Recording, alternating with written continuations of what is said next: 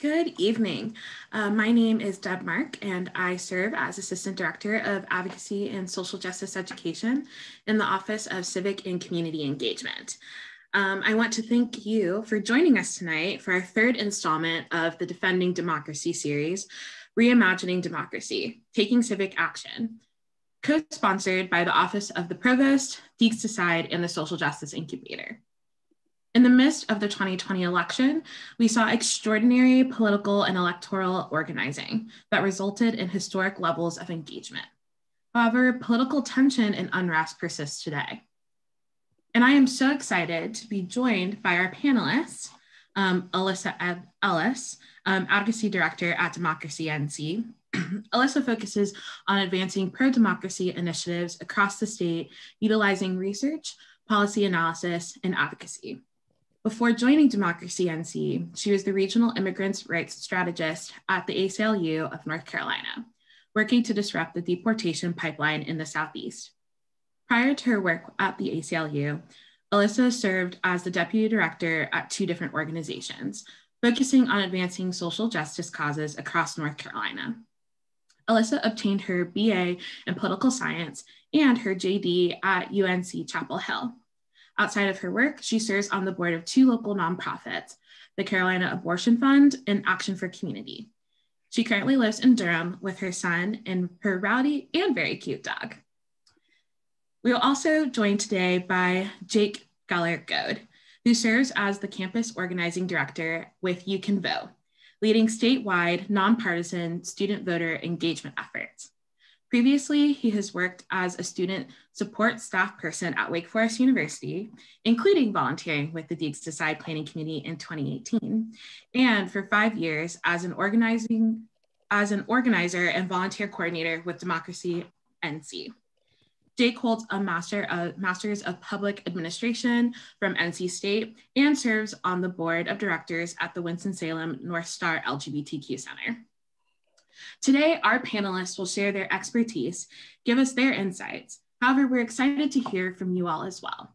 Please feel free to utilize the Q&A function to submit a question um, if you're on the webinar. And if you're watching via Facebook, please feel free to drop a question in the comments.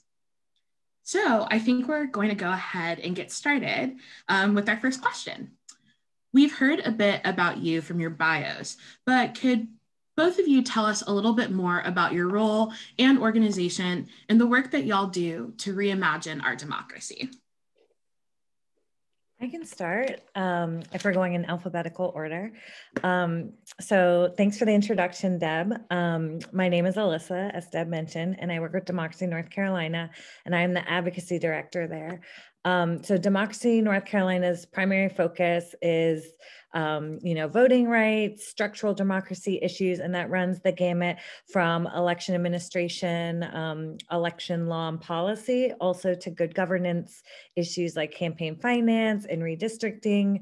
Um, we have a long legacy as an organization. We've been around for over 30 years. Um, and actually, we started as a, a project of the Institute for Southern Studies, and we're deeply involved in like good governance, campaign finance, money out of politics work.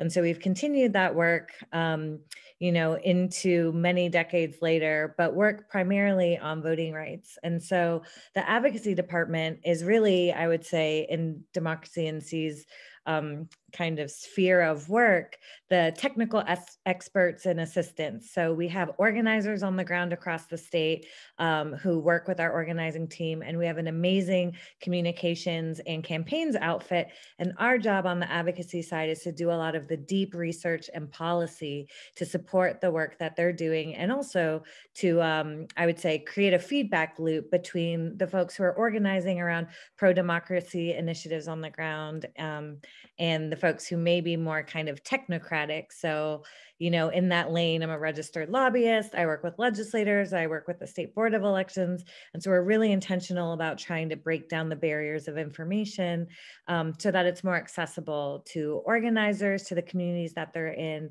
and to voters just generally. And so that's a little bit about kind of our role as the advocacy department within Democracy NC's work.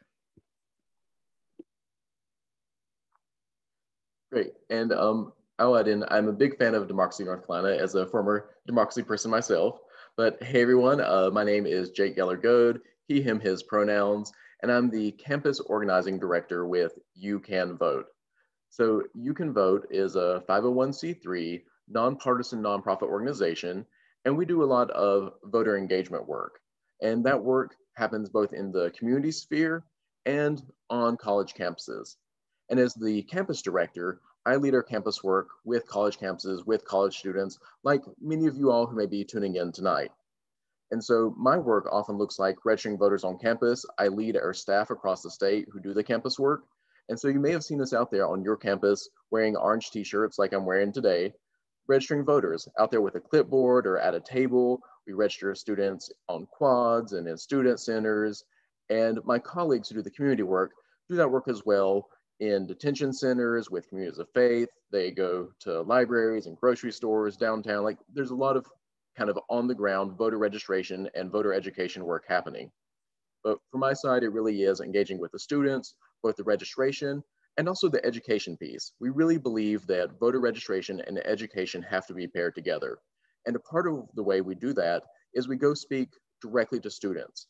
We do that in classrooms. So whenever a professor will invite us into their space, whether virtually or in person as it becomes safe to do so, we go into those spaces and speak for 15 to 20 minutes about the voting basics, about how voting works, and go ahead and get anyone registered to vote who wants to get registered. We also do that with student groups, whether student government, student clubs, Greek life, or what have you. So hint, hint, come invite me to come speak. I'd love to talk to your group. But yeah, that's you can vote and my work in a nutshell. Thank you. Thank you both. Um, and thank you for all the work that both of your organizations do. It's super crucial um, and important to have as many people um, in many different facets doing this work. Um, I think that it would be helpful to take a moment and think back um, to 2020. Um, for many, it was an unprecedented year where major storms and fires raged throughout the country and the world. Political tension seemed at an all time high, um, particularly with the spread of mis and disinformation. Um, we saw a lot of racial injustice, um, all in the midst of the COVID 19 pandemic affecting hundreds of thousands of people um, and families. However, we saw historic numbers of people turning out to vote. Um, Pew indicates that nearly two thirds of eligible voters turned out. Um, people put a lot of energy into phone banking, into text banking, making plans to vote. And one question that I get a lot is what, what now? Like I put all my energy um, into doing into the election. The election has happened, it's over. Um, so what do I do next? So for you all, um, what are the two or three areas or things or issues that people should be turning their attention to or putting their energy into now? Um, and Alissa, if you want to get us started. Sure.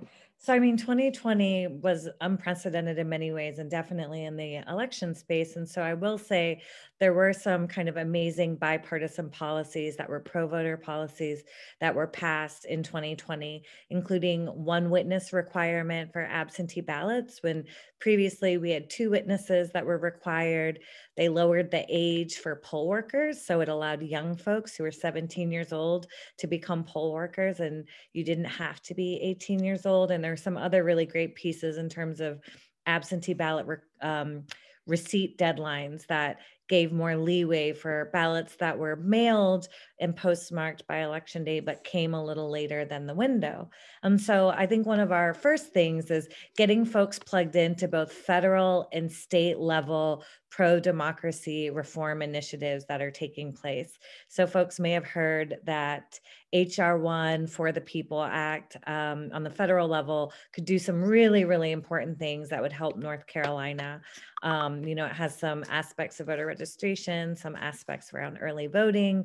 And so I think really getting educated on some of these major election reform bills that could be some of the most important federal legislation that we've seen in a very long time as it comes to voting. And it could improve a lot of what North Carolinians experience um, when they go to try and vote. And then on the state level, you know, we're really, really pushing for legislators to introduce some good pro voter bills. You know, there were a lot of um, kind of missed opportunities in 2020, like to get secure drop boxes, to get online voter registration expanded, to even think about things, you know, that are common for other states, like automatic voter registration, you know, to think a little bit kind of beyond just our nose on what we can do to make voting more accessible for North Carolinians. So I'd say the first thing is kind of plugging in, um, and a lot's been written, I'd say, in the popular media and news outlets about voting rights and the attacks on voting rights. So kind of learning about that and what our legislature um, is going to do. And then the next big thing I would say is redistricting. So we're operating a little bit of an, in an unknown, uncharted territory because the you know pandemic last year delayed a lot of the census results and so we know that we won't have data for some time but i think you know a real transparent um, redistricting process is important for all North Carolinians because we know that, you know, political and racial gerrymandering has diluted a lot of power for Black and Brown communities. And so it's essential that folks kind of educate themselves. Our good friends at Southern Coalition for Social Justice have a great um, program called the Crowd Academy, where you can get trained to understand a lot of the redistricting nuts and bolts. Um, and although we probably won't see progressive redistricting reform in North Carolina because that would take a constitutional amendment. There's a lot of ways to put pressure on legislators to make sure that they engage in a fair and transparent redistricting process. So I'd say those are kind of the two big structural things for statewide work. Um, and just i know you didn't say three but third one i would say if i could squeeze one in there on the local levels just get in touch with your county board of elections see what they're meeting about see what they're talking about. Democracy north carolina um, has kind of a monitoring program to keep tabs on what county boards of elections are doing. So you know keep your ear to the ground in your local community if you can. Yeah and I don't have a lot to add other than I want to just second everything that Alissa just shared because that's all right on the money. But yeah, 2020 was not a one and done situation. Yes, we had some record high turnouts in some ways in North Carolina and across the country, but we know that voting is a habit. Voting, we've looked at the research, suggests that if you vote three elections in a row, first three elections you're eligible, that's what really builds the habit. So when we're thinking about working with student voters, especially, we want to make sure voters are thinking about not just voting in the big election years, but also those municipal elections and the midterm elections where you can have the most impact that are even closer to home. So we're hoping you'll be interested in those. And there's going to be really high interest, we believe, in those elections coming off such a big election. Here in Winston-Salem, we do things a little different than much of the rest of the state. You may know that uh, many municipalities across the state would typically have their municipal elections during odd numbered years, whereas Winston-Salem, we wait until even numbered years and include our municipal elections along with their midterms. However, because of the census delay that was just mentioned, that impacts in some ways the districts and shapes for municipal elections. So right now, the General Assembly is looking into the possibility of switching up or delaying some municipal elections. We still don't know how elections will happen across the state, but for you all who are voting in Winston-Salem at Wake Forest University, you'll at least know that the municipal elections are really tied into the midterm elections that are coming up. And um, what was just said about paying attention to the Board of Elections, that really matters. Part of the reason we had such high turnout was just what was mentioned. It was the vote by mail being made easier. It was the introduction of online voter registration. It was those other tools that made it more accessible. And one of the ways you all at Wake Forest University had more accessible voting was by having an early voting camp site by campus for the first time. You had it right across the street, right across Polo Road. Folks would walk there. I saw the Deacs Decides parades and marches like heading up there pretty regularly. Like that's how you make voting work for everyone is you make it accessible. So yes, please attend your Board of Elections meetings and keep an eye on what's going on there. And just make sure you are participating as a voter and that you're using relational organizing, that you're connecting with your friends and networks. Registering to vote is something you need to do. You need to update your registration each time you move. So if anyone here needs to check the registration, maybe you've changed dorms or apartments since you last registered, check out youcanvote.org slash register and we'll walk you through the process online. If you're able to do online registration, we've got you set up with that link. For some students who aren't DMV customers, who don't have a North Carolina driver's license or North Carolina DMV issued ID, if you're not a North Carolina DMV customer, you can't really access the online registration, but we'll actually mail you a form. So we've got a one-stop shop at youcanvote.org slash register that will get you all set up. Thank you. Yeah, thank you both. We were really excited um, to have the polling location um, this year, particularly because um, because of redistricting, um, campus is actually divided into two different precincts. So North um, Campus and South Campus, um, which can be really confusing for folks who move across campus. and so having that space where you could go and do one-stop voter registration and vote was really helpful for a lot of our students. Um, and you both kind of touched a little bit on this. Um, and as, across the country, we are seeing a lot of legislation proposals um, that are limiting and suppressing voting rights that disproportionately impact marginalized communities, um, such as people of color, trans people, um, formerly incarcerated folks, um, in a time that most would argue that voting rights need to be expanded. Um, what is being organized here in North Carolina or in other states to make sure that the system becomes fair and more reflective of where we're at as a society. I don't want to keep going first, but I, I guess I will for this question. Um, so, you know, I think we are concerned about the voter integrity bills, which is such a misnomer because they're really voter suppression bills um, that are being introduced in similar, you know, neighboring states in Georgia and Florida, in Texas, um, and in, you know, I think now the total tally is around 43 states have bills in their legislators that are, um, you know, suppressive tactics and as you mentioned come from a historical legacy of trying to disenfranchise black folks and communities of color um, and impoverished communities as well. And so I, I, will say that we sit with you can vote in some really amazing coalition spaces where we're working you know on a proactive plan so that I would say when, not if, you know, a bill comes to North Carolina, we're ready to organize and to mobilize around it. And so I'll say key to some of the kind of technical work that we're doing on the back end is really understanding what these laws are seeking to do in other states so that when a law comes to North Carolina, the analysis can go a little more quickly and we can understand, you know, exactly how they're trying to target specific populations. And anyone who's lived in North Carolina for an extended period of time knows that we are constantly, you know, a um, creative place space for a lot of really, really little c, I would say, conservative um, and regressive policies.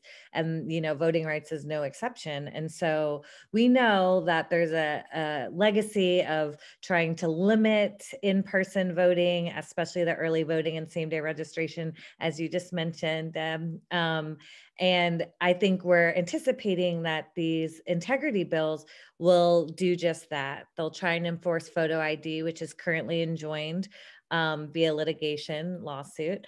Um, they'll probably try to strip the State Board of Elections of some of its really important powers um, it's probably going to attack vote by mail because we saw a really big shift in voter behavior with more Black voters choosing to vote by mail, um, more older white voters actually using in person same day registration.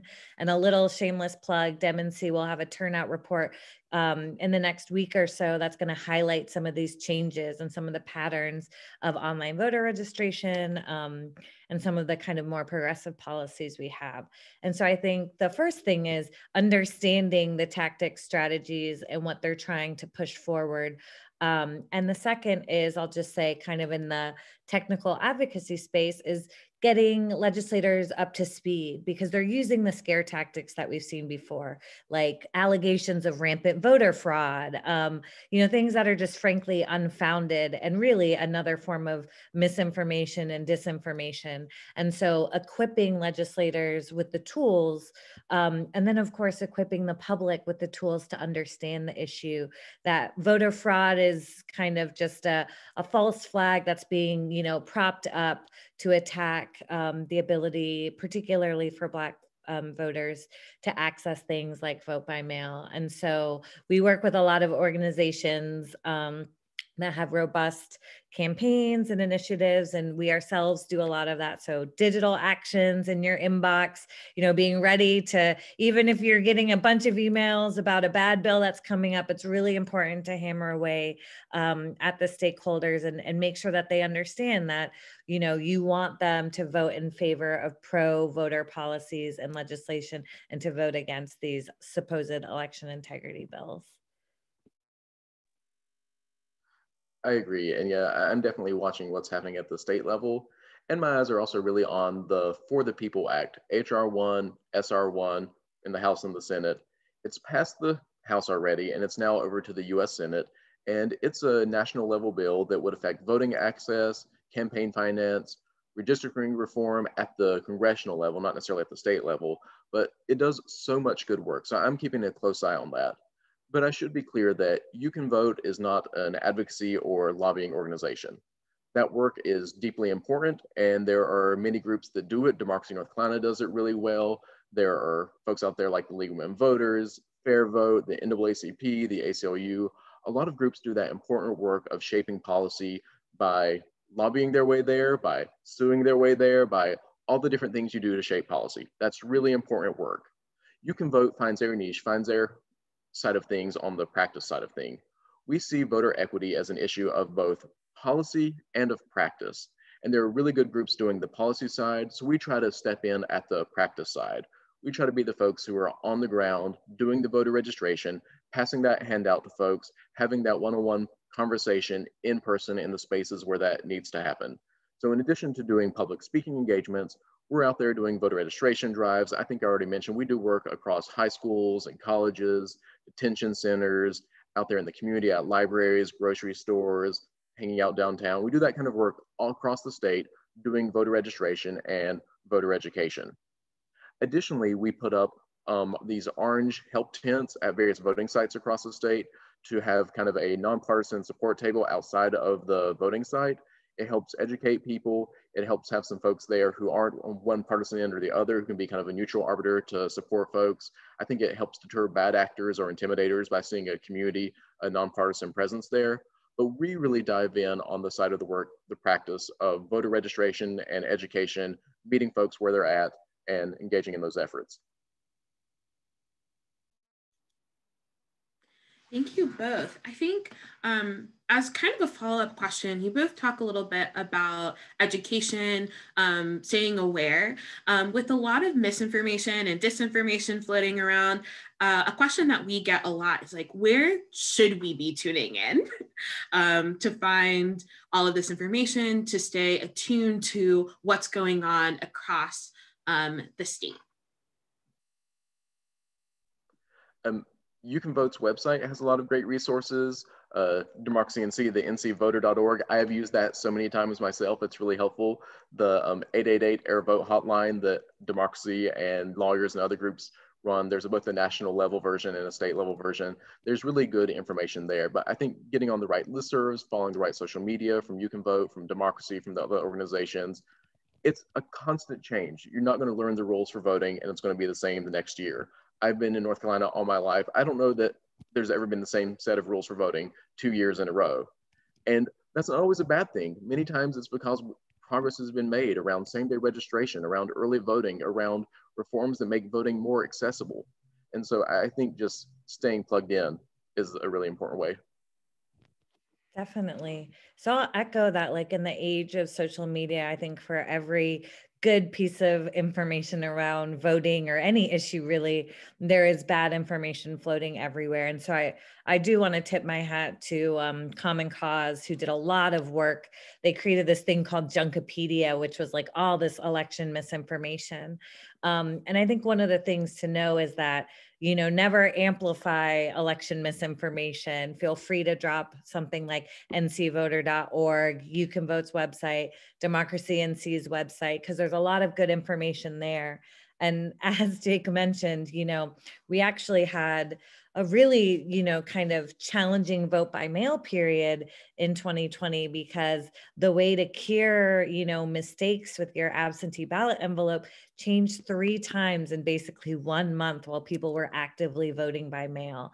And so I will say that organizations like You Can Vote who are on the ground having conversation with voters, meeting, you know, with youth groups and organizations across the state is a really good way to plug in. Democracy North Carolina has coalition meetings um, on a monthly basis based on regions in the state. And we're in some rural regions that other you know organizations aren't always able to get to like robeson county in the southeast way far out in the west beyond buncombe and watauga um, and in the Northeast as well. And so I think plugging in to coalition spaces will give you access to kind of updated information. But ncvoter.org, you know, we field and fact check all of the information that's on that website. A lot of it comes from the State Board of Elections, and we work with our lovely friends at Southern Coalition for Social Justice who are, you know, deep expertise in voting rights litigation. So every time new guidance comes out, when the winds shift and policies change, we work to make sure that everything's up to date. And one thing that I will, as a little teaser about NC Voter, is we are going through a whole process to make it more, even more user friendly and more mobile user friendly, which is really exciting. Um, and we will be partnering with a big organization that works a lot with Spanish speaking populations to make sure that all of this information is accessible in Spanish because we do know that language access oftentimes creates barriers as well. And so we work a lot with our friends at NC NCAT, um, North Carolina Asians Advancing Together. Um, and we've worked with other folks to make sure that our 866 hotline and a lot of our key resources are available um, in multilingual um, spaces as well so that we're not only sharing um, english you know materials because some folks preferred language is not um, english we want to honor all voters I would build on that too with um, Vote 411 is a website put out by our friends at the League of Women Voters, and it's a great nonpartisan resource for voting information. And for those of you at Wake Forest University, um, I would encourage you to look up Director Roz Tedford over in the ZSR library does great courses and special sessions on how to identify misinformation and fake news. And so if you want to be able to help weed out what isn't real as you're paying attention to all this, you all have a great resource right there at your university. Thank you. Um, I think that this leads into a really great space. Both of you talk about, you know, being active in your community, um, getting plugged in, um, and figuring out what that looks like. And I know that both of you are active in your communities outside of your work. Um, but for folks who are new to this process, um, how can they get involved? Where should they start? Um, there's so many different organizations out there. I mean, in Winston, I think Forsyth County has like 400 different nonprofits alone. So, what ways can people get involved in their communities, participate in the political process um, outside of voting? Yeah, I'm, I'm happy to jump in first and share a few thoughts on that front.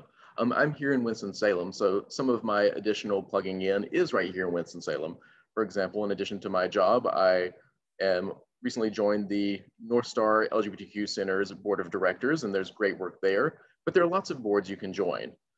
I don't know if everyone knows, but a lot of the work that happens in both cities and counties is really driven by volunteer advisory boards where folks can attend them, see what's going on, and then you can join them and help drive the conversation and drive the decisions that are happening.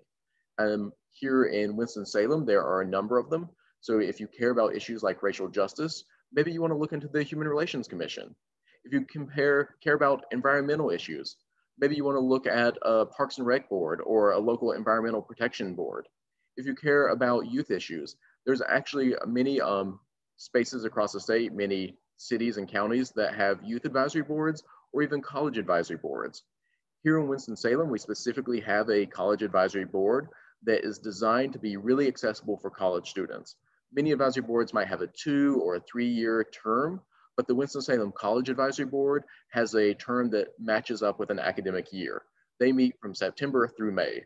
So if you wanted to check that out and be thinking about that for next year, just Google Winston-Salem Advisory Boards and you'll find all the information about what it is, how to apply, maybe to go to a, attend a meeting. I'd also encourage you to attend your city council meetings.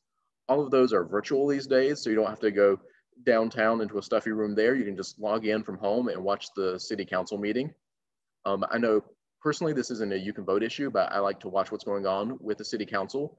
And I know in previous years, the city council has voted on things like renaming the Dixie Classic Fair to the Carolina Classic Fair, on tearing down the Confederate statue downtown. And even just next week, we just heard that they'll be considering an issue of a LGBTQ non-discrimination ordinance that also includes other issues as well. That non-discrimination ordinance is being considered next week on Monday. So a lot of interesting stuff that's happening really close to home happens at that local government level. So I'd encourage you to consider joining or at least attending some advisory boards. Check out that college advisory board for Winston-Salem. Check out your city council meetings. And as we've already talked about, pay attention to the Forsyth County Board of Elections or whatever county you reside in, that Board of Elections. A lot of the work for elections is administered at a county level. We have 100 counties across the state, so we have 100 county boards of elections. And so there are meetings for you to attend the Forsyth County Board of Elections is where important decisions are made about where voting sites and hours will be, including the early voting sites and hours. So decisions about whether Wake Forest University, for example, had an early voting site right there by campus, right on campus, that was made at that level. So you can go to that space, you can hear what's going on, you can build relationships with the folks in that space, and they have public comment, so you can weigh in with your thoughts about how things should go. So yeah, attend your Board of Elections meeting, attend your City Council meetings, and consider joining a local uh, advisory board, especially that Winston-Salem College Advisory Board, to make sure you're having your voice in that space.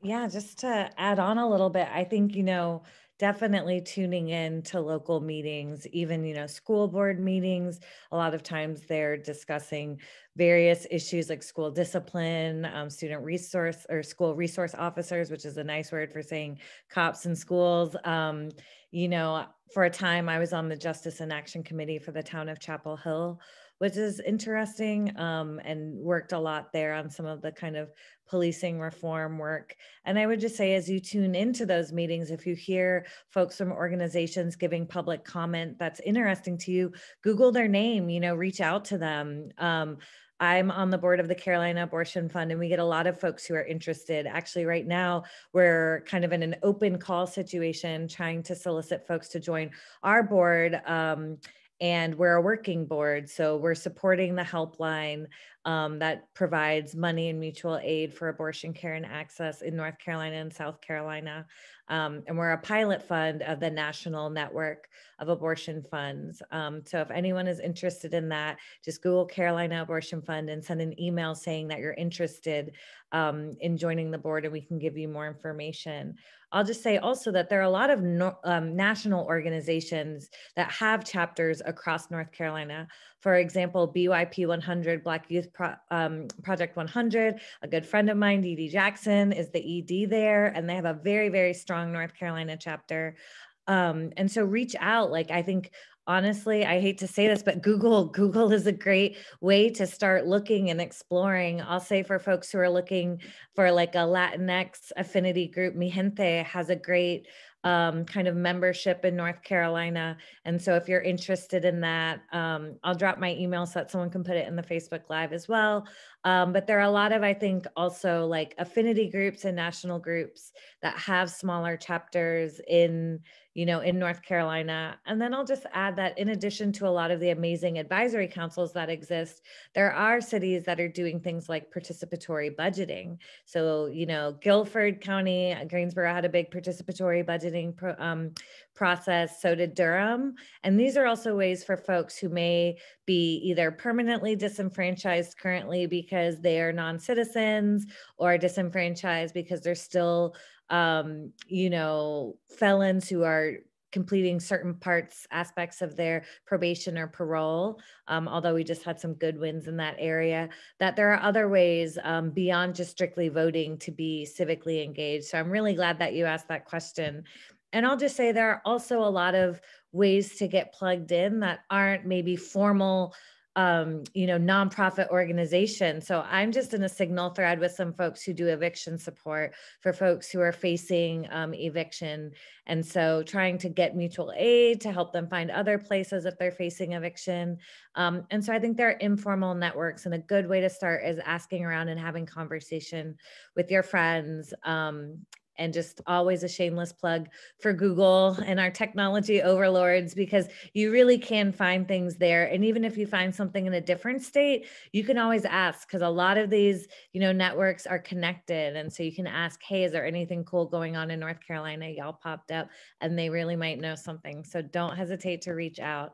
And the internet is your friend for most things. Isn't that the truth? Particularly in this time where we are spending a lot of time in this virtual world. Um, a lot of resources have popped up.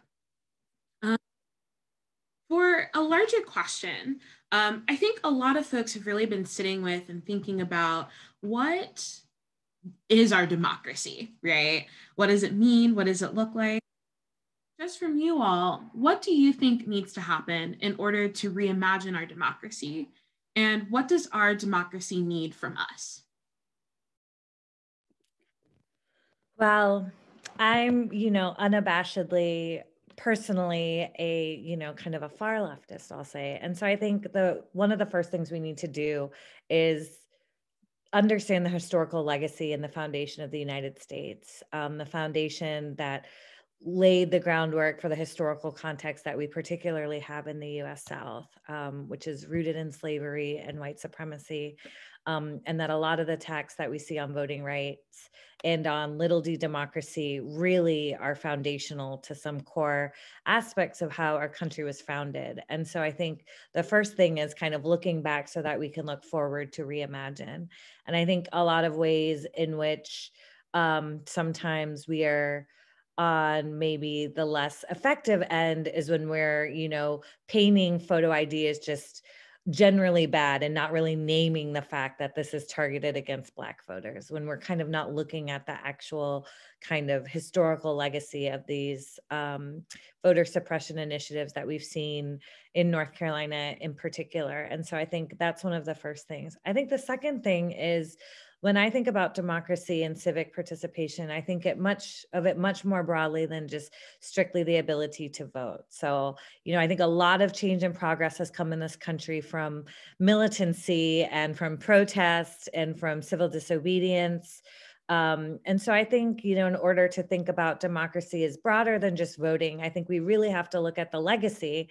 You know, I think a lot of the expansiveness that we've gotten and the barriers that have reduced, you know, been reduced in the voting rights space have come from, you know, militant protests and folks who've had to stand up for their their rights to to vote. And so I think, you know, we we can't deny that. And I think we also can't whitewash the historical legacy around access to the ballot for women as well. Like it was a deeply um, kind of racist fight that threw Black women under the bus, um, frankly, in terms of that. And so I think we need to think about that when we're moving forward on democracy reform. Um, and maybe in my mind, I don't think of it as reform, I think of it as transition. So, how do we transition to a more inclusive democracy, a democracy where folks feel that their voices are heard? And I think it really has to do with, as I mentioned, the kind of structural roots of what's underpinning our systems. And I'm really excited that, you know, at least at Democracy North Carolina, we're doing a lot of this good governance work and the money and politics work and understanding how some of these corrupting forces are perpetuating white supremacy. Um, and so I think we have to look at kind of all the ways in which our democratic practices are not accessible um, and sometimes are exclusive. And so I think things like participatory budgeting, things that bring people to the table who may not be able to vote or even interested in voting because there's apathy. And I think we have to be real about voter apathy.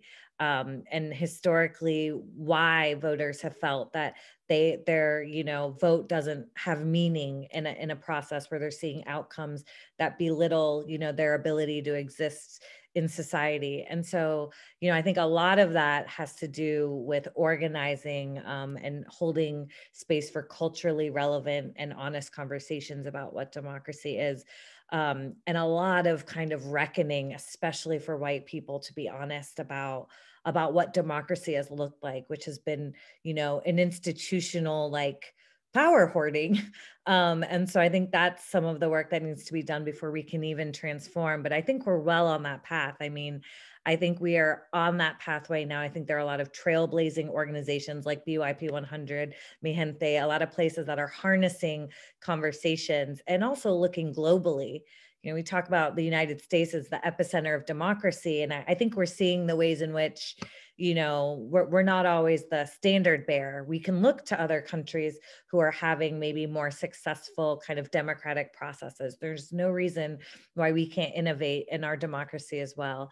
Um, and honestly a lot of folks have written on this in the academic space that our founding fathers did not think that we would be going this far with exactly the same system we had. You know they really wanted you know innovation in that. And so i think we don't have to be you know beholden to a system that we inherited from from old dead white guys. Great great ideas but i think we can also improve on them. Lots more folks in the mix right now. So you know just a, a plug for for looking back to look forward.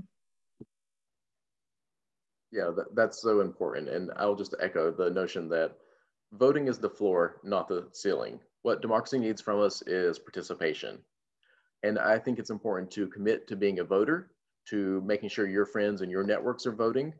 A lot of young people who maybe haven't voted before or have not voted often aren't necessarily on any list that any group out there, phone banking or text banking, is going to have. But they're folks you know and folks you can reach out to. So make being a voter a part of your identity and make sure to work in your circles to help folks vote. Make sure you're thinking about voting in every election, not just the presidential election. And one big thing I think about is that when you're doing voting work and organizing work, don't go alone. Organizing is a group activity. So find your group, find your people, find folks to plug in with and do it together. It's more sustainable that way, it's more effective that way, and you'll be really able to accomplish something.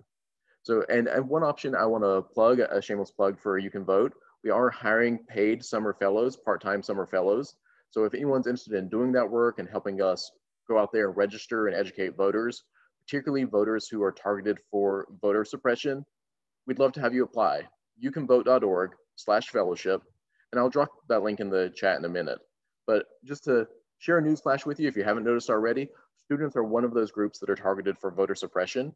And so we wanna make sure that everyone is able to vote. And in particular, my work is with college students, and we'd love to have you apply to join our team or to volunteer with us. We do monthly meetings, we have lots of events. We'd love to have you be involved in that way. Thank you both um, for that. And since Jake already sort of uh, gave some space for some summer opportunities um, that you can vote um, has going on, um, Alissa, would you like to share any opportunities that um, Democracy NC has? I would. So we finished um, the initial hiring process for or screening process for the advocacy team, but there's still two great opportunities to intern um, and these are paid internships with Democracy North Carolina for 10 weeks over the summer. Um, one is with our communications and campaigns team. So those are the folks who make our podcast, who will be working on um, creating social media content, our petitions, our digital actions, um, the folks who will be helping us live tweet, you know, all of the tomfoolery that takes place in the legislature. Um, and then we also have our DEM summer, Democracy Summer internship, which is I think last year was almost 20 students um, from across the state and a couple, I think, from outside of the state who work with our organizing team. Um, and they also work with our communications and campaigns team, and they work with our team, the advocacy team. And so I will drop that link um, in the chat. And I will say that Southern Coalition for Social Justice is also looking for someone. Um, it's a shorter term project, and I will drop that link as well in the chat. Um, it's a project that I think spans from April to May. Um, but it's an opportunity to do some data analysis on all of the amazing hotline election protection calls that we got. So we got over 14,000 calls in the fall um, with voters who had issues, and we are working really hard to understand some of the issues that voters had and where voters really needed certain key information, like their polling location or how to cure their absentee ballot. And so I'll drop those links in the chat. Thank you. Um, you both, in your previous answers, kind of talked about uh, the importance of understanding our history. Um, and as we've seen and we're kind of in this moment where there is a swell of activism, of organizing um, across various issues. We see um, Stacey Abrams down in Georgia organizing folks um, and really meeting people where they are, literally, um, to understand, uh, to get them to understand why it's important for them to turn out. Um, we also are seeing great organizing and activism coming across the country, including in Winston-Salem around policing um, and folks sort of appealing to um, their elected officials. When we are thinking about um, advocacy around organizing, um, and around activism, um, what is the, their role in making policy changes? and also within that, folks are it, it, can be really hard and a little scary to reach out to your elected officials um, so how do you suggest that folks uh, take those first steps well, as I mentioned, Democracy North Carolina has um, coalition meetings. And so that's a great way to kind of plug into an existing infrastructure of folks who have experience, who've reached out to their county board of elections, who've reached out to the state board of elections, who've reached out to representatives. And so I think a good way is to just get in with folks who've done that, who can make you feel a little more comfortable, some camaraderie in the space. Um, I will say also, legislators don't get reached out to as much as you would think. You know, constituents rarely reach out to legislators, and a lot of times they do, you know, via digital action. That's like when you get an email and they kind of provide a script for you. Sometimes you can add your own little sentence or flavor to it and send it. Um, but genuine, kind of single, um, one-off emails about issues that are important to constituents don't really come across their desk a whole lot. And so I think it's a really, really important thing, especially for young people to engage with, um, because I think a lot of legislators may get contacted frequently by a handful of constituents who have, you know, either certain issues that they care about or one issue that they really care about and hammer away at. And so I think one of the first things is, you know, learning who your representative is, which uh, I will say again, a quick Google search will help you figure it out. You can put in your address um, and it'll tell you who your representatives are. Um, a lot of them, not a lot of them, all of them have their email addresses listed right on their website. And so you can craft an email for them. Um, but you can also just connect with the with the organizations that are in the space doing that work. So at Democracy North Carolina, I'll put a link, but you can find who your regional organizer is and chat with them um, and work together on creating an email um, if there's an issue that's of interest to you, particularly around voting rights but there i think there are a lot of ways to just reach out. And the other thing is our representatives work for us. They're elected by us to represent you know what we want them to do in office. And so you are a very very important part of their every day-to-day job and they should be thinking about what their constituents want. And so i think the best way to hold them to account is to ask them for what you want them to do. Um, and i will say by and large even the legislators who might not see eye to eye with us you know the worst that happens is they don't respond to you. Um, and that's not that bad. Um, and so if you look at it like other things in your life, potentially like dating, they might not answer, but at least you gave it a shot. Um, as they say, shoot your shot. So, I mean, and I think, you know, most representatives are responsive, even if it's a canned response. So, and, you know, if at first you don't succeed, you can email them again. Um, they're in the middle of long sessions. So I will say a lot of their time might be more constrained because they're in a lot of meetings, but definitely go ahead and reach out to them. Yeah, and I'm going to defer to Alissa here because You Can Vote's not an advocacy organization. So democracy and Alissa really has the expertise in that space. You Can Vote focuses more on the voter registration and the education. And so I am going to drop one link in the chat for our What's on the Ballot tool. One piece of our education is helping the voters understand what their elected officials do. And so we put together this tool that will show you based on the different issues, whether you care about racial justice or climate or a variety of issues that are listed on the What's on the Ballot tool. You can click in based on the issue, and then you can see right there which elected officials have a role on that in different ways. And we kind of built it from the local up to the national. We didn't want to start with here's what the president does. We want to start with the local folks and scroll down, you'll get to the state level folks, and scroll down, you'll get to the national folks and Congress and the president and that kind of thing. So even though our role is more education than advocacy, that tool is currently being updated to be set for the elections ahead. But there's a lot of really great information there right now that'll help you understand, okay, what role does my sheriff have in policing or the county commissioners have with the budget that goes into policing?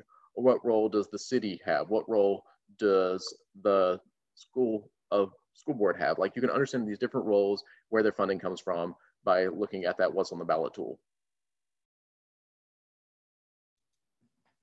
Thank you. Thank you both. Um, we're right at our last 10 minutes. And I know that folks are sitting here and listening, and I feel really re energized and excited after um, speaking with both of you.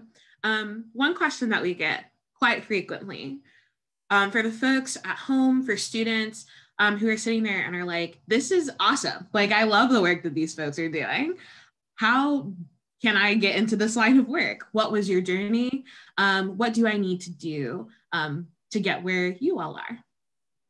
Yeah, um, I'd be happy to share a few thoughts on this. Um, I've been in this line of work kind of professionally for about a decade. And before that, I was volunteering and working on campaigns in kind of a one off way. So, um, one thing I'll start by saying is it's important to, if you're doing this kind of work, to pace yourself, to do it sustainably, because I have seen some burnout over the years. So it's important to match your passion with a realistic thing, the notion that this is uh, not going to be a rush thing. Um, but yeah, for me personally, I know I was volunteering and working on a lot of campaigns and with a lot of organizations. And eventually I decided to quit the job I had, go to grad school for public administration, and use that as my pivot to get into this sector. But there are lots of paths into this work. I see lots of people from social work backgrounds, from political science backgrounds, but really from any background out there. And so I would say the main thing is get some experience and do some job networking. That's important. Networking is important. The um, Office of Career Development there at Wake Forest University will tell you that networking is a really important part of getting any kind of job, and that applies even to these jobs that are in the sphere of advocacy, of nonprofits, of voting, of organizing. And so volunteering and internships are a great way to do that. You build the experience, you learn the skills, and you meet the people. I know for me personally, before I worked at Democracy North Carolina, and before I worked at You Can Vote, I was a volunteer with both organizations. So I knew that work in and out because I'd been volunteering there for Democracy North Carolina. I'd been volunteering there for years. So I, I think that passion shows up when you do it that way. And I think you build the right connections and the right skills.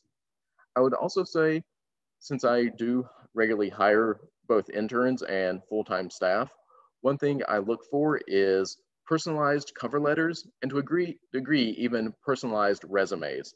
I can't tell you how many times I've had a really generic cover letter that could work for any position, but it stands out to me when I see your passion come through, especially in those first few sentences. It stands out to me when I see you lift up your relevant skills or your interest, or if you haven't had a lot of the practice yet, just showing that passion, it matters, it stands out. And so I'd say really do the volunteering, get the internships, especially paid internships if you can get them. It's important to value yourself and value your work, and then personalize and customize when you're applying for those kind of positions. Yeah, I'll just second, you know, what we used to call kind of in the law school world informational interviewing. You know, it's kind of like a cold call. You're reaching out to someone um, and you're basically just saying, Hey, I think what you do is really cool. I would love to talk to you about it. Do you have 10 or 15 minutes? Um, and you'd be surprised at how few people actually reach out to anyone on our staff, but I have very few people, you know, who've actually reached out to me based on our website. You know, I do have a lot of folks who reach out to me through friends, you know, who are like, hey, I know this young student, I'm mentoring them in this capacity. They love to hear about the work that you've done. I'd also say that, you know, we work in a system where we we have to work to pay the bills and passion driven work is really really important, but you also don't have to make it your full-time career. There are a lot of people who go into the for-profit sector or other sectors and do really really meaningful volunteer work, board work um, you know work in the community that that's just as meaningful. And what i will say is you know i was not a lifelong voting rights advocate before i landed the position i'm in. Like do the work that feels passionate and important to you and that will come through you know like that will as jake said come through. And so i mean I was not hired at Democracy North Carolina because I was an election law expert. Um, I never took an election law or policy course the entire time that I was in law school. Um, you know, I focused a lot in law school on indigent criminal defense work. But once you have a certain base level of skills, once you have some program management skills or skills just in writing or policy, it's generally applicable to all areas of work. Um, and so, you know, I wouldn't feel too discouraged if you don't end up in a specific subject matter area that you're super excited about. Like you can hone the skills that you need and seek out those opportunities. And I will just say, as Jake mentioned, you know, there's ways in which the internship model makes it really, really hard for folks who have to work through school or are not able to take unpaid work. Um, I'm proud to say Democracy North Carolina only accepts interns who are getting course credit for their work or paying. Um, we always pay our interns. Um, and so I will just say informal networking and not being afraid to just email folks is a great way for folks to get on the radar because I now have a list of young people who, whenever we have opportunities, I'm emailing them all those opportunities. So even though they've never interned with us, I've had a chat with them and, you know, it helps me, you know, vie for them too in hiring processes. So don't be shy, don't be afraid. Um, and also, you know, if you find out that the nonprofit sector isn't for you after an internship, that's totally fine. You can support the cause in so many different ways. And you don't necessarily have to go into the nonprofit sector to be, you know, a really, really important contributor to social change. I want to thank you both for your time today. Uh, I learned a lot. I'm sure that our folks watching have learned a whole bunch. We took extensive notes. Um, so, all of the resources that were dropped in the chat, um, all of that information, we are going to work um, through the Office of Civic and Community Engagement to compile all of that information and put it into a one stop shop for folks. Um, so, it'll all be there. Um, thank you both for your time, for your knowledge, um, and for being in community community with me today. Um, I really appreciate it. And I hope that those watching learned a lot as well. And I hope that